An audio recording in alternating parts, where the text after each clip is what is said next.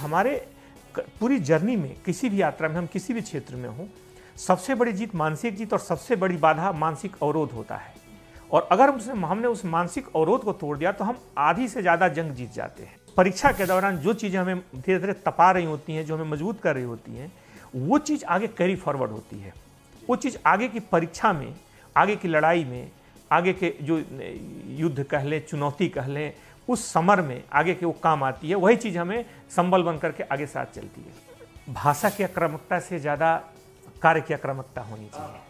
अनावश्यक किसी भी तरह के तनाव में आकर निर्णय लेने की भी ज़रूरत नहीं है। सहज रूप से सरल रूप से अगर बढ़ते रहें तो मुझे लगता है कि किसी भी तरह की कोई समस्या नहीं है परिस्थितियाँ अपने आप आपका साथ देती हैं।